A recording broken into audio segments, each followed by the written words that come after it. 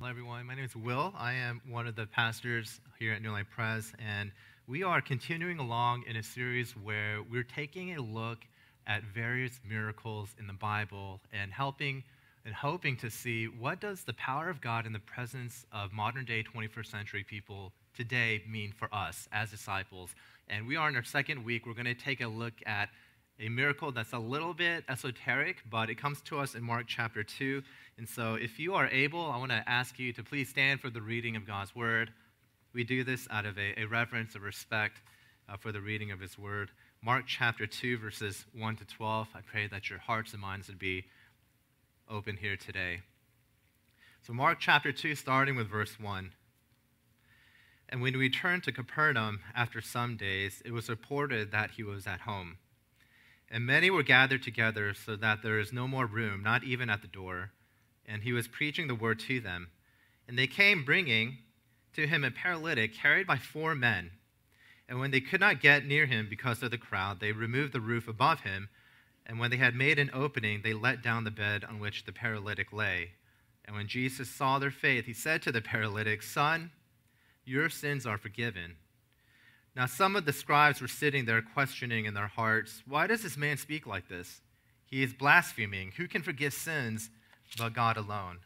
And immediately Jesus, perceiving in his spirit that they questioned, that they thus questioned within themselves, said to them, Why do you question these things to, in your hearts? Which is easier to say to the paralytic, Your sins are forgiven, or to say, Rise, take up your bed and walk? But that you may know that the Son of Man has authority on earth to forgive sins, he said to the paralytic, I say to you, rise, pick up your bed, and go home. And he rose and immediately picked up his bed and went out before them all, so that they were all amazed and glorified God, saying, We never saw anything like this. And this is God's word. You could take your seats.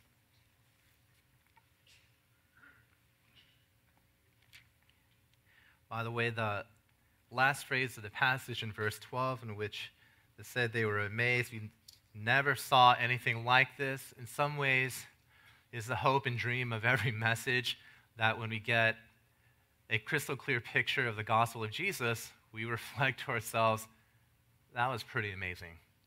The Son of God coming down and forgiving us. Well, we're in our series, Our Great Healer, where we're taking a look at the great physician and trying to understand how does the power of God work in the presence of people today? Or one way to think about this, you look at all these miracles that agnostics and atheists would reject because it defies the laws of physics and science, and we think to ourselves, what do the miracles of God in the Bible mean in the man of Jesus today? How is it practical for the everyday experiences of disciples like you and me living in Southern California. And that's what we're trying to do in this series to say if you want to be healed, if you want to be restored in life, one of the ways you could do this is by understanding the miracles of God in the man of Jesus and applying that very practically in your life today. And so we look at this miracle, it's pretty clear what the miracle is. Jesus here's a paralytic, somebody who may be a quadriplegic, and we're going to see what does that miracle mean for you and I today. And I want to attack this by looking at this miracle from three perspectives three angles, three heart issues, three types of people that represents three types of people here today. So, first, when we look at this miracle, we can understand the power of God in the presence of people by looking at the crowds. Jesus is preaching, there's a crowd in his home. What do the crowds tell us about the spiritual condition of people today? Secondly, we'll look at the paralytic. What did Jesus really do in this man's life? That is so profound and miraculous that at the end of verse 12, people say, We never saw anything like this before. And then, thirdly, we're going to consider the scribes, who are sort of the professors of Jesus' day. The scribes were the educated. Sometimes they were in positions of power, they were experts in the law, they were the academics. They were learned, they were successful. And what does Jesus say to them? How does Jesus prove them wrong? And what does that mean for the scribes who are sitting in the pews here today? Or maybe even my heart as well. So we're going to look at this, and hopefully you could glean a little bit of who Jesus is. But let's consider first the crowds in Jesus' miracle. Now, we didn't read this, but the Gospel of Mark begins Jesus' ministry. Mark's particular writing style is that he likes to talk about action. So when he writes the narrative of the Gospel of Mark, it's really quick from miracle to miracle, teaching to teaching, from one success story after the other. It's really quick, it's fast paced, it's a little bit hectic, frenetic, rigid. And in chapter one, he heals a leper, and then he says to the leper, Don't tell anyone what I've done. And what does the leper do? He goes out and tells everyone what Jesus has done for him. And then you come to chapter 2 in our passage, and that's why there's a crowd, because if anybody could heal a leper, everybody's going to come to either see it or to receive it. And that's what we have here in our context. Jesus returns back to Capernaum. It tells us he's at home. Most likely, it's Simon Peter's home. It was packed, there was no more room. There wasn't even an entryway into the door. And so, what did Jesus do? Well, he did what he normally did he began preaching about the kingdom. That was his main ministry. So don't miss the fact that as many miracles as Jesus has done, his main ministry, his bread and butter, the meat and potatoes of what he's about was about teaching and preaching. One commentator by the name of James Edwards has said this about the ministry of Jesus. So essential is the proclamation of the gospel to Jesus, his purpose, that Mark can subsume his entirety, his entire ministry in the phrase, he preached the word to them. Now, that's a subtle note, but that's something that you and I can consider because it tells us that Christianity is so different from every other religion. Every other religion, in some form or fashion, is about moralism or performance or good works, about a set of values that you have to live up to, so that if you do good enough, you get a reward, you get a blessing. Christianity is the only one that says, yes, we care about action, but the fundamental perspective of Christianity is a message. Jesus is saying, this is what the kingdom is. This is what I came to do. It's about a message about what Jesus has done, not first about a set of moral standards that you're required to do. So it's completely different from every other system of thought religiosity, philosophy that at the end of the day is some form or fashion about moralism or actions. So even with this crowd, they want to see some sort of action or miracle, but what does Jesus do? He's always just teaching. He's explaining, he's preaching. Because it's not just about good works, it's about truth and forgiveness. That's why Christianity is so fundamentally different from everything out there in the world. So at least we can consider this is what Christianity on its own terms can offer you a preaching, a message, a truth about forgiveness and grace. Jesus is preaching the word to the crowds, but here's the irony in comparison he's in a small little house. So, what does this tell us about crowds? What are you supposed to learn? Mark is a wonderful writer. He's contrasting the public ministry of Jesus to crowds and the intimate ministry of the house. And we see both of those converge in the second miracle. He's preaching to the crowds. It's so packed, you can't get in, but it's in the intimacy of a house. Even in the Greek, there is an alliteration between the word crowd as well as house. It's ochlos and oikos. And that's the contrast that I think Mark wants us to understand. Are you the ochlos or are you the oikos? Are you like the crowds or are you like Jesus' house? And this is what we're supposed to learn about this. Read with me again verses 1 to 2. It sets up this contrast between the crowds in the house, the ochlos and the oikos. So, verse 1 and 2 when he returned to Capernaum after some days, it was reported that he was at home. And when there were many were gathered together, so that there is no room, no more room, not even at the door, and he was preaching the word to them. So they're in his home, it's a house, but there were many gathered together, Verse 4 later, later says it's a crowd. Crowds play an important role in the Gospel of Mark. We see that for Mark, Jesus is famous, he's popular, but Mark refers to crowds nearly 40 times before he gets to chapter 10. The crowds are an essential character in the Gospel of Mark. But what's interesting is that when you look at crowds and you listen to what Mark writes about crowds, this is what we learn about crowds. They listened to Jesus' teaching. They received Jesus' compassion. But crowds are never described as repenting and believing and following after Christ. Actually, the singular most important factor and attribute, the common attribute of crowds in the Gospel of Mark, their function in Mark's Gospel are that crowds block access to Jesus. That's the oikos. Large crowds, in other words, tell us fame and popularity was not the measure of Jesus' success. Because on one level, Jesus was the most unsuccessful evangelist there was because no one ever got converted. They actually hated him and eventually killed and crucified him. In fact, crowds usually implied to us to be the outsiders. Crowds are those presented by Mark to be passive, ambivalent, apathetic. Crowds are those people who are a little bit entertained. Crowds for today are people who go to church on Easter and Christmas, but never again, and it makes no difference in their everyday lives. That's the crowds. They have no real desire to follow Jesus. They do this out of routine, out of tradition. They do this out of intrigue. It's temporary, it's fleeting, it's never life changing, it's not deep. It doesn't change them at their hearts. That's the function of the crowds, and part of the challenge for you and I is to ask ourselves Am I part of the oikos? Am I like the crowd? You come here and you could worship, you're sort of, this is what I've grown up with. When it's convenient and fits in my schedule, I'll just show up.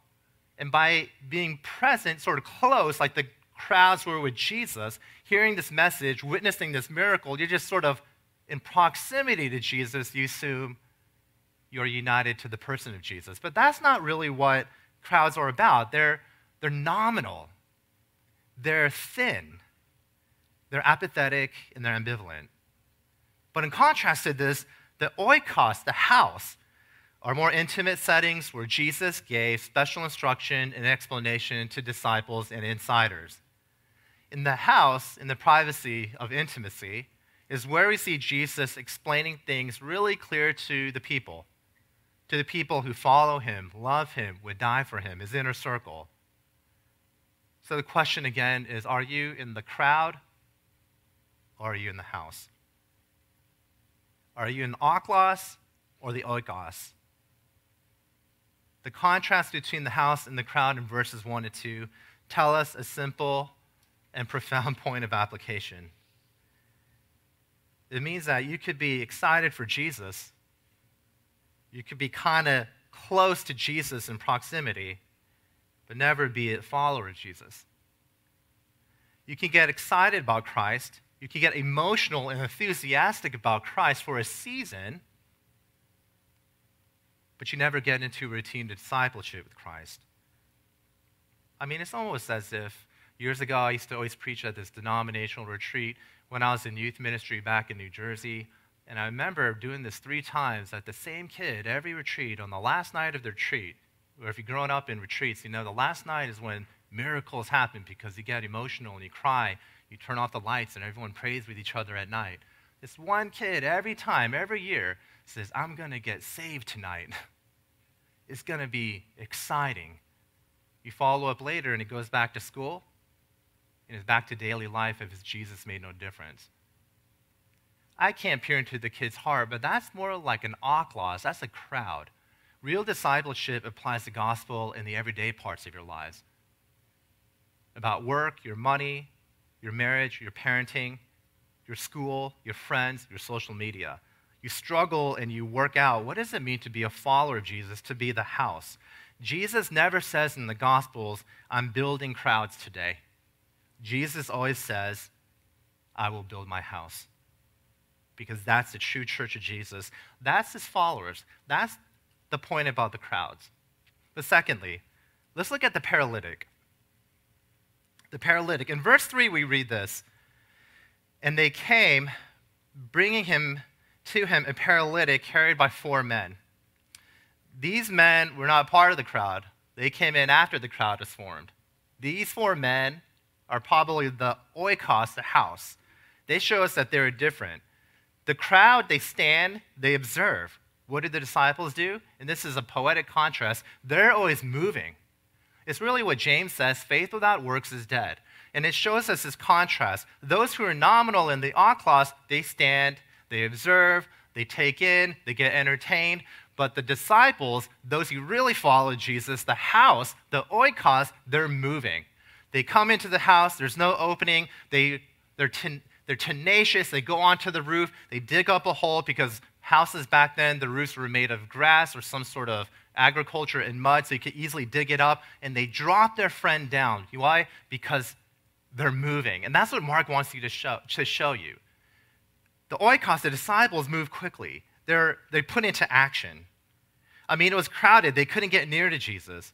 Now, if you can imagine the situation, Jesus is preaching, crowds are gathered around him, they're listening, they're observing, and then all of a sudden, you see this guy who's a paralytic on some sort of mattress or bed being dropped down by his four friends. Now, what would you do if you were Jesus? Man, don't interrupt my sermon. I'm, I'm, getting really good. I'm, this is, I'm getting to the climax. Jesus doesn't get annoyed. He doesn't get angry. He doesn't say, hey, you're not too, you're not good and important enough for me to talk and to converse with you. What does he do? He looks at the paralytic. Obviously, he knows what the man needs. He looks at the faith of the four friends, and later on, he begins to sense the grumbling heart of the scribes. What does he do? My son, your sins are forgiven. That's what Jesus does in verse 5. He saw their actions probably as a genuine demonstration of faith. When Jesus saw their faith, saw their actions, the crowds are watching, the scribes are grumbling, and he forgives the sins. You know what's so surprising and complex about this miracle? And this is a lesson for you and I to learn. The paralytic comes for healing, but Jesus gives forgiveness. Now, if you were the paralytic, you want to be healed, you want to walk. And if Jesus says your sins are forgiven, you may be thinking, I don't want that. I, have got to heal my body. I want to walk. I want to run. I want to play basketball. I want to jog. I don't want to be dependent on four friends. I want to carry somebody else on my back. So he comes in to get physical healing, but Jesus gives him, what does he give? He gives him spiritual healing. That's how Jesus sees us. The guy wants to walk, but he gets something bigger and better. This is a lesson, friends. In the paradigm and the economics of the kingdom and Christianity, sometimes your most urgent need is not your greatest need. When Jesus obviously sees his most urgent need in the paralytic, but he addresses his most desperate need to be right with God, to have your sins forgiven, to receive eternal salvation. The paralytic comes to Jesus what, with what he wants, but Jesus gives him what he really needs. If I could ask you here today, what is your greatest need in life? What is your greatest needs? Maybe it's friends, maybe it is healing, maybe it's a better job, healthier marriage, more successful kids. For youth group, for students, you may be thinking cooler parents, more understanding parents, more present parents, more involved parents. All of that is so important to Jesus' heart.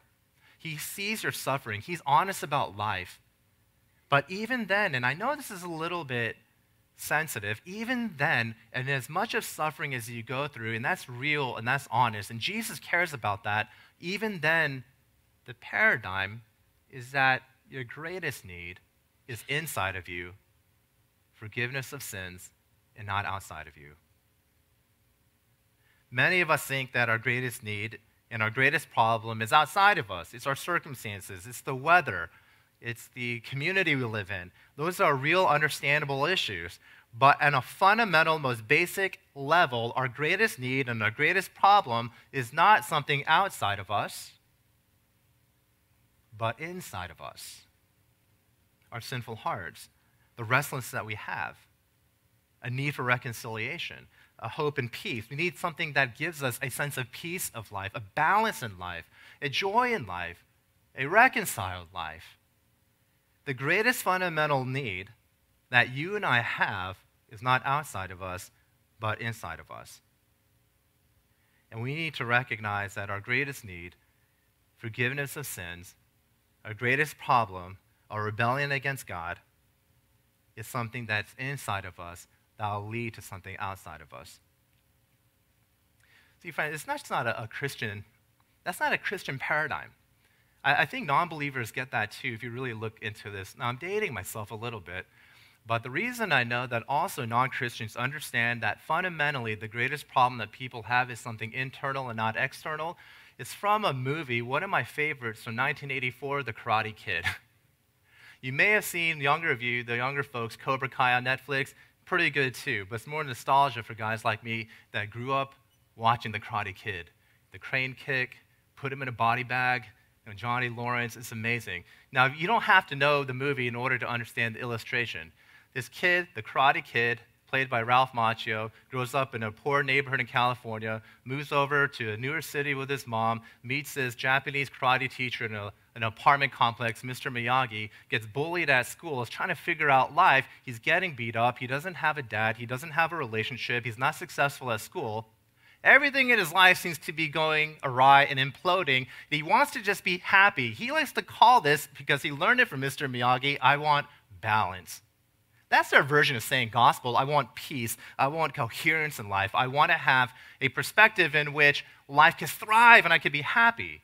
So he learns karate to overtake the bullies in his school. They go to this national tournament, which is amazing because he only trains like eight months, and all of a sudden he's as good as that grandmasters who have black belts.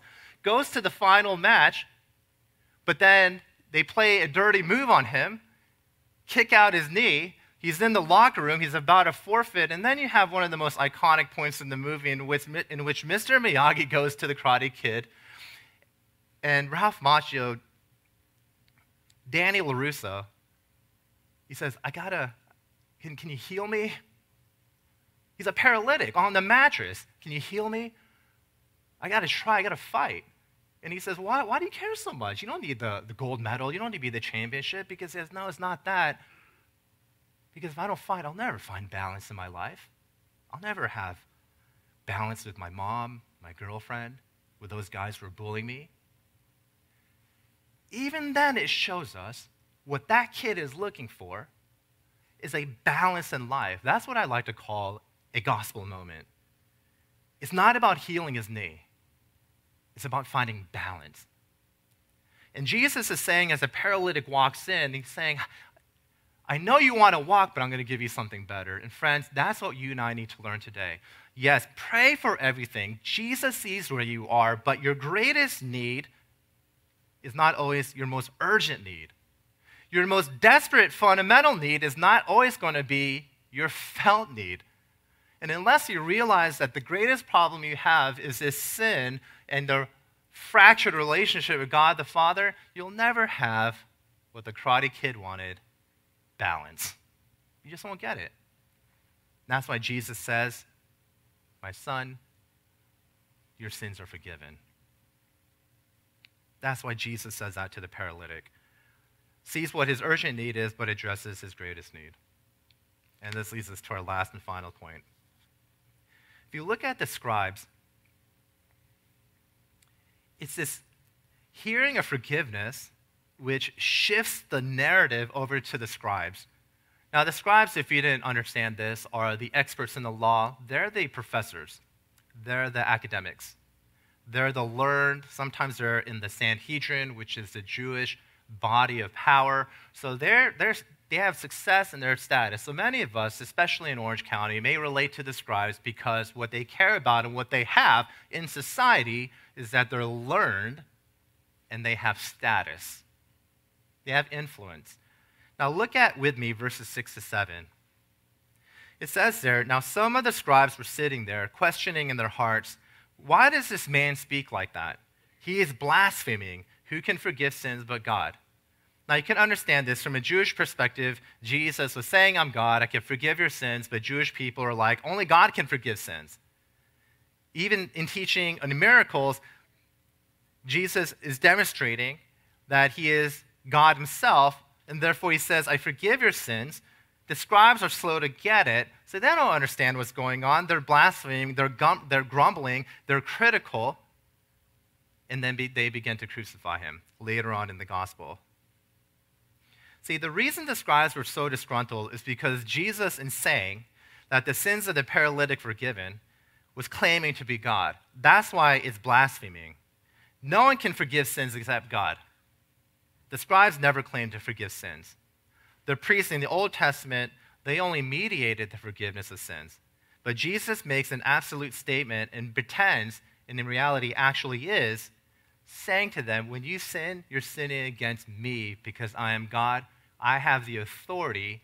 He was authorized to forgive sins. And then the scribes claim it was utter blasphemy. Are there any scribes here today? Not just talking about professors of higher education.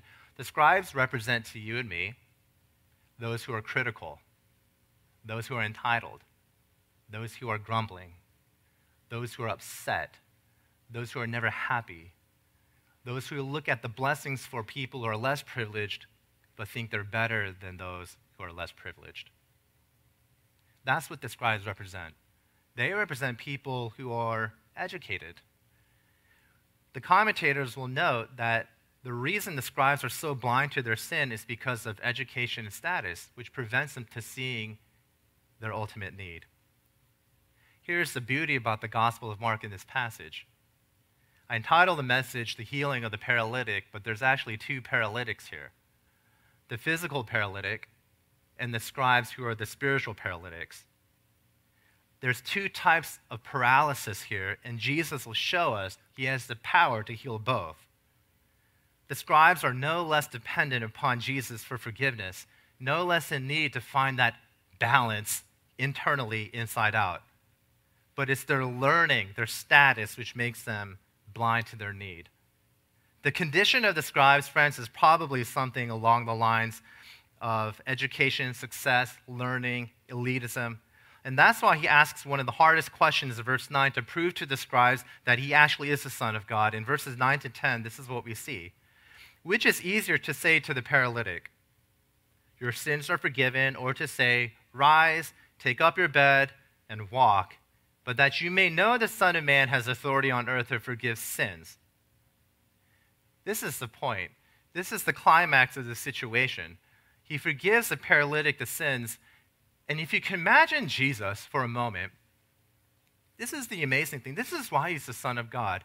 You have this crowd, he's preaching the word, the paralytic drops in, he looks up, you have an urgent need, but I'm going to address your most desperate need. Son, your sins are forgiven. But Jesus, being the Son of God, he already is hearing the pulsating heart of the criticality of the scribe's hearts, and it's almost as if he turns to the scribes and says, What did you say?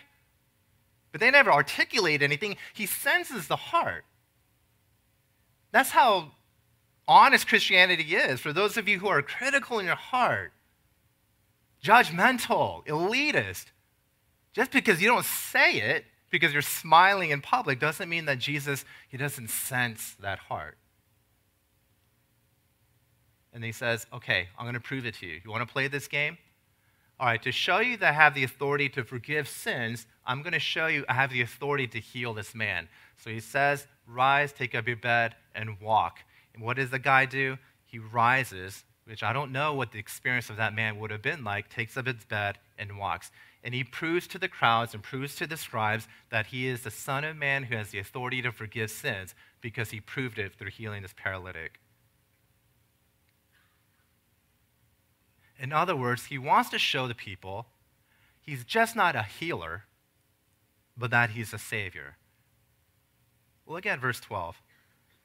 And he rose and immediately picked up his bed and went out before them, so that they were all amazed and glorified God, saying, We never saw anything like this. An amazing miracle. This is the, the double meaning of this miracle. You think the real miracle is going to be healing the physicality of the paralytic, but Mark wants us to know the real miracle is the Son of God came down to get his hands dirty in our lives and forgives our sins. They were all amazed. Did you know that humans naturally gravitate towards the amazing? We gravitate towards the transcendent. We want something that's mind blowing and breathtaking. You want to experience and see something that's amazing. Do you know how I know this? Because a guy by the name of Rusty McAllister once told me so that humans want amazing. Do you know who Rusty McAllister is? He's a side minor character little kid in the original Disney The Incredibles.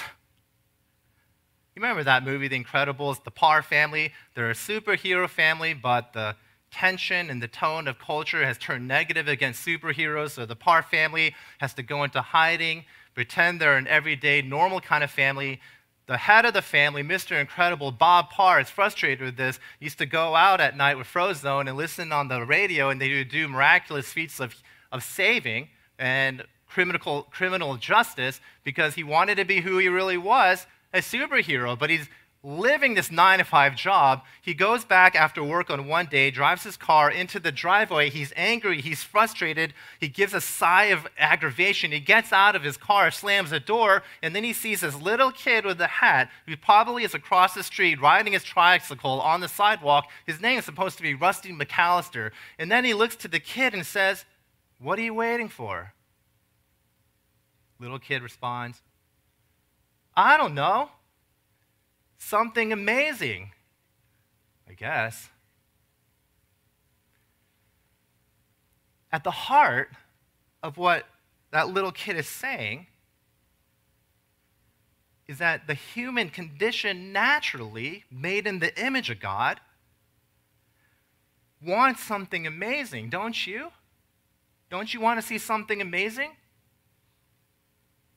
And the Gospel of Mark is trying to show you the real amazing miracle is not that the man got up and took his bed and walked physically, but that when Jesus forgave this man's sin, he was forgiven.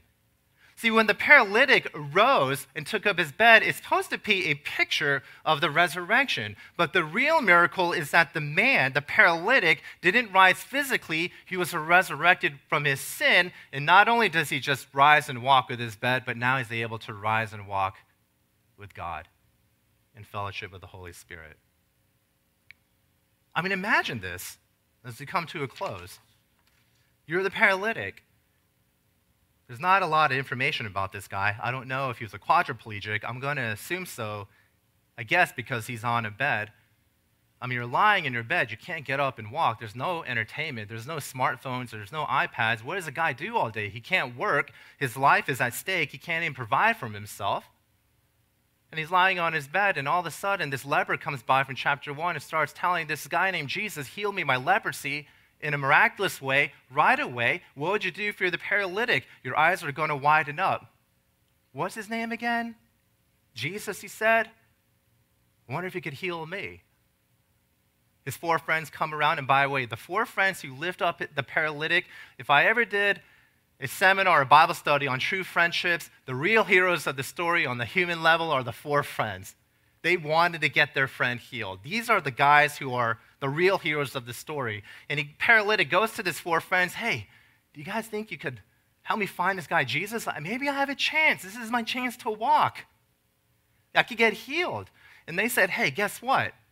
Hey, I hear Jesus, he's over at his home in Peter's house, and he's preaching, he's teaching about something called the kingdom, but maybe we could bring you over there and try to get you healed. So they lift up their friend, four of them, they walk over, however long that was, over to Simon Peter's house. They realize, oh my goodness, there's a large crowd here. You know, it's like the first time I went to Disneyland and I rode Rise of the Resistance. I went there and the crowd was just ginormous and the line was out the door. That was probably the way it was when Jesus is preaching the four friends are like, okay, let's not have that stop us. Let's go up onto the roof. Who cares what he's teaching about? They dig a hole into the roof, take the mud and the grass out, and they lower the paralytic down. And you're the paralytic and you're saying, What in the world is going on? I hope this works. Please heal me of my paralysis. And then you hear from Jesus himself, Son, your sins are forgiven. Rise, take up your bed, and walk. I don't know. Something amazing, I guess. If you're a believer in Jesus and you have your sins forgiven, you accepted Christ, you are something amazing. I guess, because of the forgiving, sacrificial death of Jesus, that you are reconciled to God. The crowds don't really care about him. The paralytic, on one level, is using him. The scribes wanted to kill him, but Jesus wanted to forgive them. And he wants to meet their greatest and most urgent need in life, which is forgiveness of sins. You want to have balance? You want to experience a miracle? Turn away from your sins and turn your life to Christ, who has given his life for you. Why don't we do that now? Let's bow our heads and turn to Jesus in prayer.